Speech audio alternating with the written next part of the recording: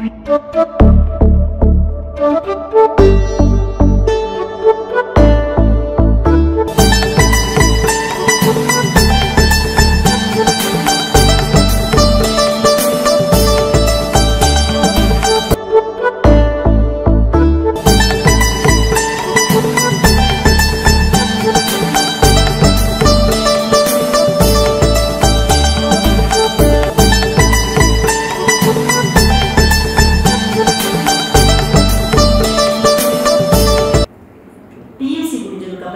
College join பண்ணணும் அப்படின்னு நினச்சிட்டு அப்ளை பண்ணேன். பெருசாலாம் மார்க் கிடையாது.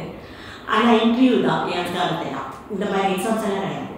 இன்டர்வியூ போன சமயத்தில் ஒயிட் அண்ட் ஒயிட் saree போட்டுட்டு இன்டர்வியூக்கு போயிட்டு வந்த ஒரு ஆளு நான். ஆனால் கிடைக்க நல்ல விஷயம்.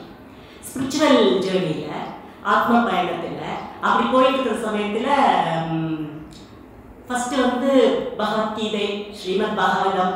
இப்படி எல்லாம் படித்து வேதாத்திரி மகர்ஷியோட கொஞ்சம் தெரிஞ்சுட்டு கடைசி எக்ஸாமினேஷனுக்கு மாத்திரம் போக முடியல. ஒரு கோர்ஸ் எடுத்துட்டு அதெல்லாம் முடிச்சு ஓஷோ புக்ஸ் நிறையா படிச்சதுல கொஞ்சம் அப்படியே ஈவன் பகவத்கீதையில் இருக்கிற அந்த டெம்பிள் கல்ச்சர் எல்லாம் மாறி கொஞ்சம் இன்னர் செல்ஃப்ல எல்லாம் வந்தது.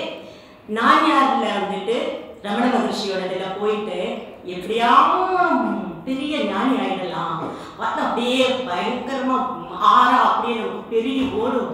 நம்ம சொல்றபடி எல்லாரும் கேட்பாங்க.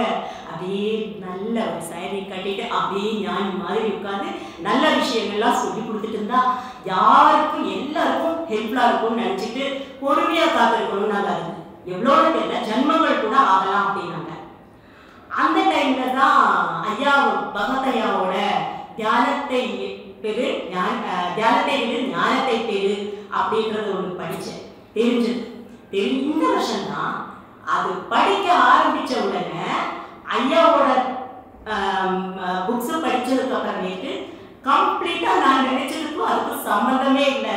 நீ இருக்கிற நிலைமை தான்மா இப்போ இருக்கிற நிலைமை தான் உன் மனசை பற்றி தெரிஞ்சுக்கோ. என்ன கவலையும் இல்லை. எல்லாத்தையும் அக்செப்ட் பண்ணிக்கோ. எல்லாத்தையும் விட்டுடு. விட்டுட்டு விட்டுட்டு போயிட்டே இரு. உனக்கு என்ன தோணுதோ பட்டு பட்டு முடிச்சுட்டு போயிட்டே இரு. வெளியில மாத்திரம் பார்த்துக்கோ. உள்ள கிடந்து நோண்டாத சொரண்டாத அப்படின்றது புரிஞ்சுட்டேப்பா இப்ப எல்லாரும் ஞானிகள். பகவத் மிஷன்ல இருக்கிற எல்லாரும் ஞானிகள் உடனே நீங்க பாருங்க ஐயாவை போய் பாருங்க ஞானமுகா வட்டை